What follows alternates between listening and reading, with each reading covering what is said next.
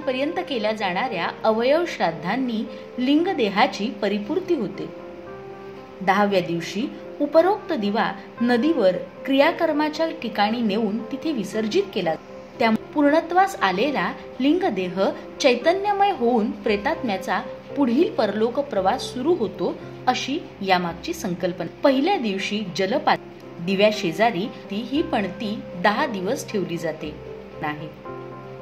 दिवा लावण्यामध्ये धान्याच्या उपरोक्त मूळ संकल्पना असून याविषयी समाजामध्ये काही समजुती सुद्धा प्रचलित आहेत त्यामध्ये प्रामुख्याने दहाव्या दिवशी दिवा उचलल्यावर खाली उभे तामनातील ताण आहे.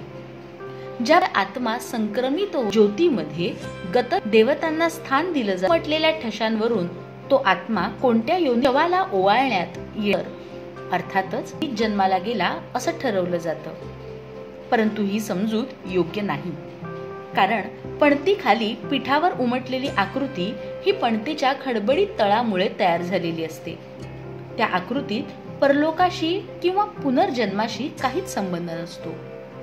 परठिकाणी निधन पडल्यास वा अपरिहार्य कारणास्तव दहा दिवसांसाठी आपल्याला दिवा लावता आला नाही तर एक दिवसच दिवा ठेवावा लागला तरी हरकत नाही.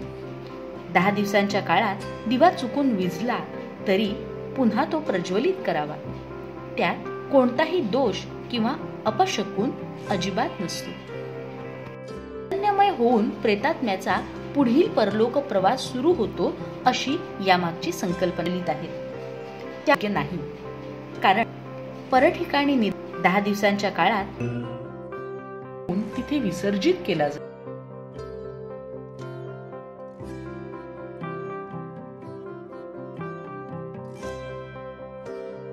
पासून जलपात्राबरोबर त्याचा पिंड व दुधा ही एक प्रकारे मृतात्म्याला